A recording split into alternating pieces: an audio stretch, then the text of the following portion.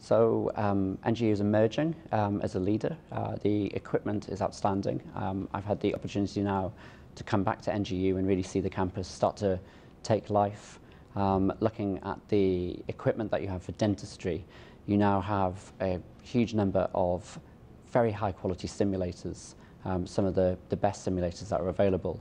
Um, and what's really reassuring is they're being used properly. So students are getting an opportunity to have a really authentic um, experience in operative dentistry in the third year, um, but also in the early years, beginning to just understand the ergonomics of being a dentist, not so much doing, but being.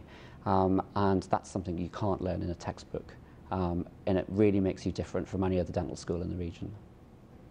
I think the future of collaboration with NGU and uh, Eastman Dental Institute and UCL um, is a really positive one. Um, I think we learn as much from you as you're learning from us, um, and it's a really important part.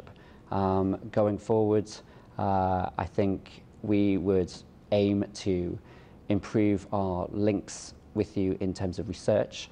Um, we'd aim to improve the educational links with, uh, with NGU, um, specifically clinical education and making sure that the dentists you're producing are not just people who can do a single task, but actually can see the patient as a whole um, and provide holistic healthcare for um, the population of Egypt.